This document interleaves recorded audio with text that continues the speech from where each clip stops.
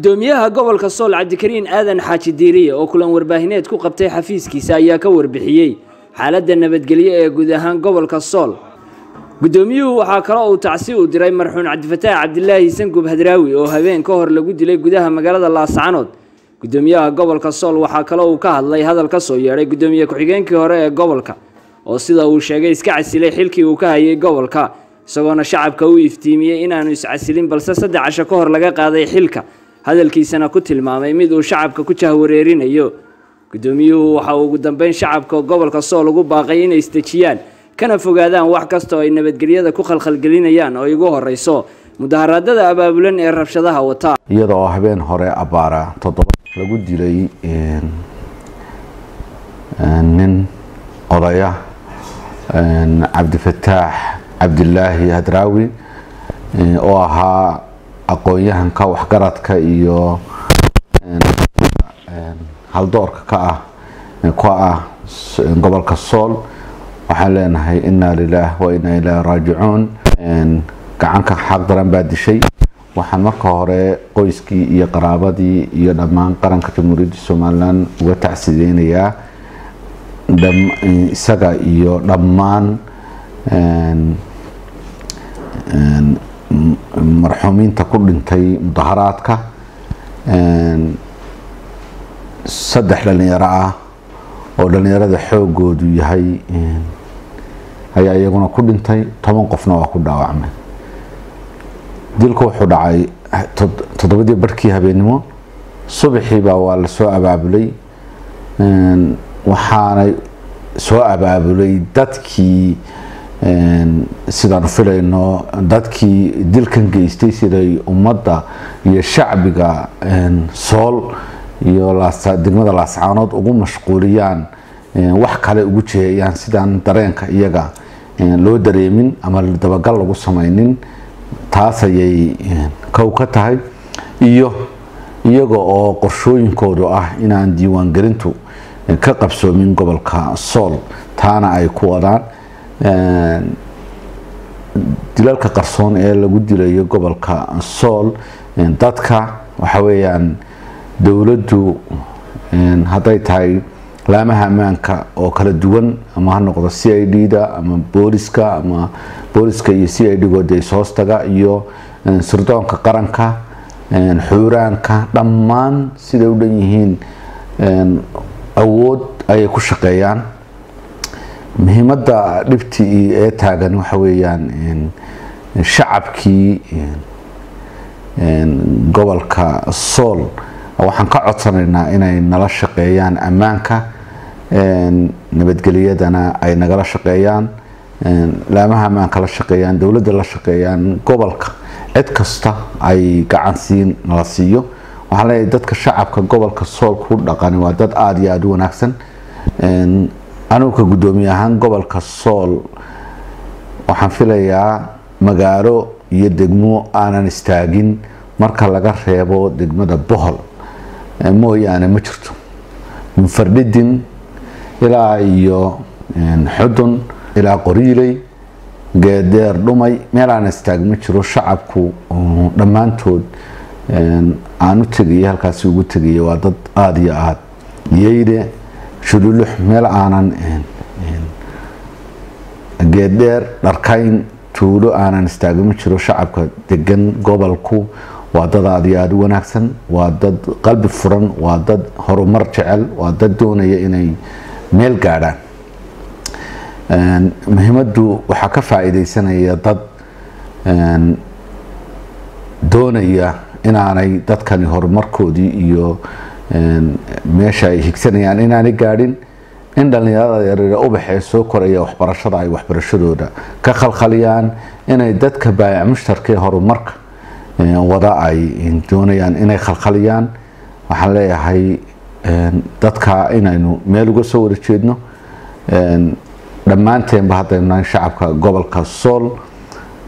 Waxaan leeyahay dadka dhintayna afarta nina uu dee dilka qorshaysan ee dadka soo waxaan soo abaabulay ka dambeeyeen hadraawi iyo saddexda dhalinyaro ee ku dhintay mudaharaadkii iyo toddobada tobanka dhaawacmayba. Waxaan leeyahay kuwa dhintayna ilaahay u naxariisto kuwa dhaawacana ilaahay howb oga dhayo badidoodu dhaawacoodu waa fudud yahay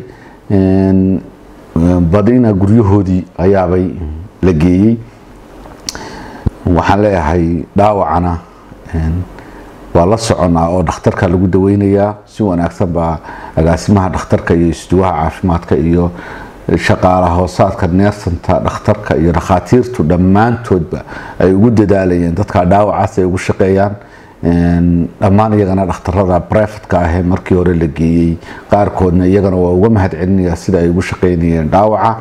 Waxaan leeyahay shacbiga reer sool khaasatan degmada laascaanood isdejiya dhibaatada iyo mashaakilku wax alaala waxa uu taraa haba yaraateen. Ma jirto horumarkii degmada laascaanood ayuunbaa la doonayaa waxaana waynu garanaynaa cidda ka dambeysa dilalka qorshaysan ee magaalada ka socda ee aynaan garanayn qaarkood dee waxaa jiray dad dhowaan la qabtay iyaga laftooda oo gacanta lagu dhigay oo markii ay doonayeen wax dilaan la dabagal lagu sameeyey isdifaacay iyagoo dhaawaca weliba la qabtay. Waxa weeyaan insha allah iyaguna waxaa lagu jiraa baaritaankii oo kama hordhacayo baaritaankii baa lagu jiraa. Raadkana insha allah waxaynu rajaynaynaa inaan raad wanaagsan helo waxaan aada iyo aada ugu mahad celinayaa booliska gobolka sool oo si wanaagsan u shaqeeya oo dabagal iyo ammaankaba suga. Waxaan iyagana u mahad celinayaa ciidamada qaranka jamhuuriyadda somalilan oo mar kasta xaaladda soo korodha gacan ka siiya booliska iyo degmada iyo meel kastaba shalay baan aada iyo aada ugu mahad celinayaa dhammaan ciidamada qaranka jamhuuriyadda somalilan militariga iyo booliskuba sidii ay u xakameeyeen dhibaatadii iyo rabashkii dhacay haddii aan taabto mudaharaadkii la soo abaabulay oo ka yimi xaafadda ma dareemin markii uu bilaabmay waxaan aada isugu taxalujiyey. Anaga iyo madaxda gobolkaba dhammaantoodba in aan ciidanku ishortaagin ee aynu dayno bal inay si silmiya u maraan.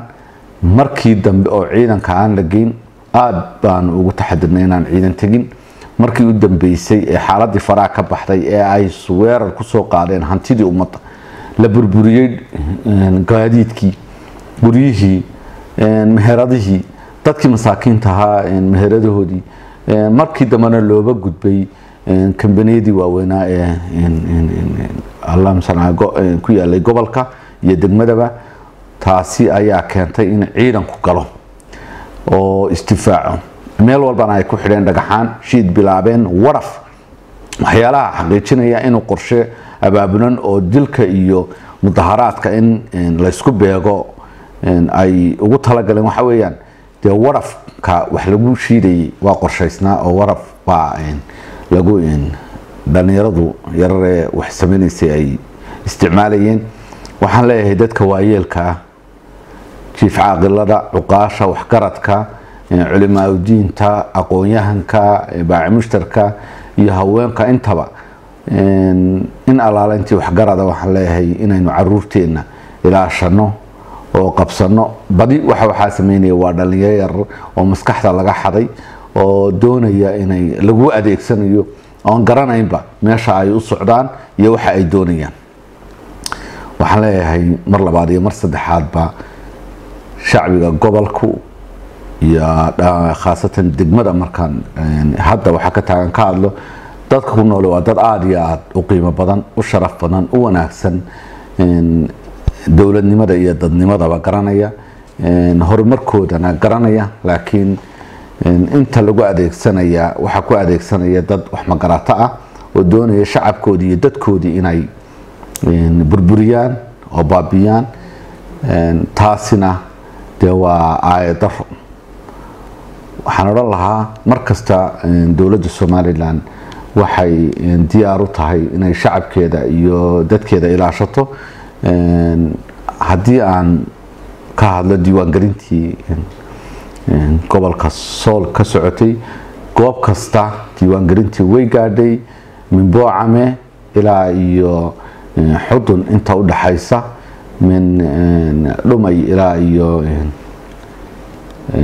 inta udhexaysa allahuma sal yeyle min yagoori ilaa iyo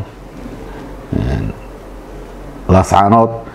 Goob aanay hadda shaqadu ka socon ilaa laga reebo afarta goobood ee degmada laascaanood tahay oo magaalada gudaheeda ah. Degmada maaha magaalada caasimadu ay tahay afar gooboodba ah.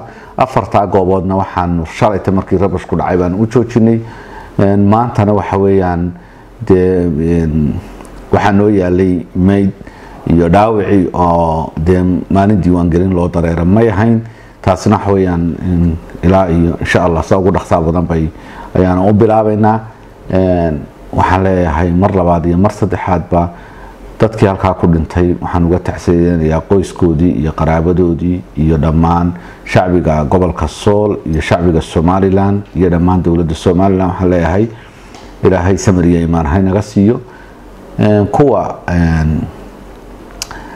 dhaawacmayna ilaahay hawbga dhigo waxaan leeyahay shacabka isdejiya waxaan doonayaa inaan hal kelmad ka idhaahdo barasaab ku-xigeenkii gobolka sool oo aan arkay iyadoo warbaahintu qorayso wuu iscasilay barasaab ku-xigeenka doraad ayaa xilka laga qaaday isaguna waa ogyahay shalayto xabaashi isaguu joogay siduu u hadlayay waa arkayseen haddana maantaan hadeer baan arkay isagoo soo qoray waxa weeyaan waan iscasilay hadallo deelqaafa oo aan qaban dowladnimada. Shalay buu kursiga hayay shalay mid nin buu kala wareegay. Maantana cid buu ku wareejinayaa waxa dowladnimadu dee waxa weyaan maalinba qof baa kursiga fadhiya.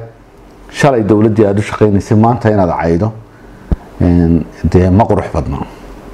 Marka xilka laga qaado haddaad doonaysa inaad casisho markaad kursiga joogta ayay ku fiicantay qofku inuu iscasilo xilkuna waa meerta oo maalinba qofbaa qabanaya. Laakiin waxay ahayd inuu sumcadiisa iyo magaciisa waa nin dhallinyaro aqoon-yahana uu dhowrto oo aanu hadallada ku hadlin shalayta xabaasha hadallo deelqaafa oo dowladda ku lidiya ayaa uu ka sheegayey isagoon xilkiiba wareejin. Maantana wuxuu yihi waan iscasilay waxaan leeyahay aan u aftiiminayaa shacbiga gobolka sool. Arrimaha shakhsiyaadka qaar ku hadlaya waa kicin in la iska ilaaliyo in qof hadduu maanta xilkii waayey uu dadka iyo bulshada kiciyo. Ma qurux badna mana habboona waxaan leeyahay taasna taasaan ka leeyahay. Iyaguna na soo gaadhay wafti ka socday jamhuuriyadda somalilan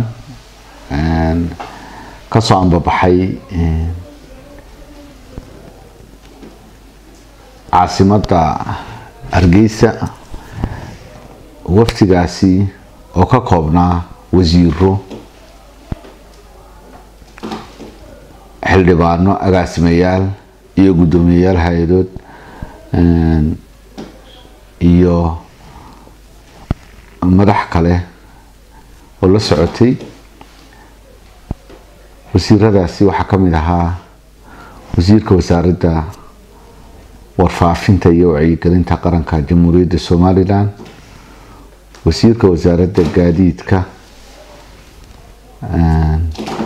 jamhuuriyadda somalilan wasiirka wasaaradda cadaaladda agaasimaha guud ee wasaaradda gaashaandhigga maareeyaha hay'adda waddooyinka xildhibaan casoowe waxaa kale oo la socotay idna gudoomiye ku-xigeenka xuquuqal insaanka xaaji diiriye iyo madax kale oo xildhibaano kale oo ayaa la socday. Waxaan leeyahay aada iyo aad waxay u socdeen. Dee markii hore diiwaangelintii ka socotay gobolka ka bilaabmaysay iminkana waxay la kulmeen rabshadihii iyo buuqii.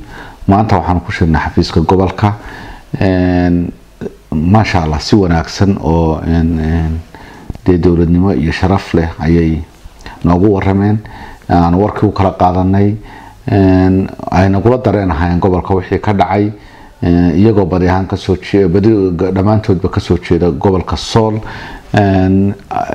Dee qarankana u shaqeeya. Haddana dareen labaad iyagoo ay qabeen oo ah in rabshada ka dhacday gobolka sool ama caasimadii gobolka sool ay dareenkoodu aada iyo aada u kacsanaa. Aadna uga tiiraanaysanaayeen dhimashadii iyo dhaawacii ku yimi shacbiga gobolka sool. Annagoo dhammaantayaba sidaa qabna. Haddana iyagu dee maadaama anagu aan joognay iyaguna ay socoto ahaayeen oo yimaadeen mar kastana ay ilaa hadda aan ku jirno howlihii sidii wax looga qaban lahaa ama sidii bulshada shacabka gobolka sool loo dejin lahaa iyaguna ay markasta u taagan yihiin. Ilaa iyo markay soo galeenna aanay shirarka doceedyada aanay ka nasan madaxda kala duwan ee timi oo ay halkii nagala howlgaleen hawshii aanu ku jirnay aada iyo aad baan iyagana ugu mahad celinaya inkastoo dee waajibkii qaranka ay u lahaayeen ay gudanayeen haddana aada iyo aad bay ugu mahadsan yihiin aan ugu mahad celinaya. Samiir siciid bila gobonimo t v laascanood